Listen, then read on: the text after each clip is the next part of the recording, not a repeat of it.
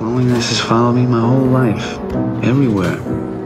Bars and cars, sidewalks, stores, everywhere. There's no escape. God's only man.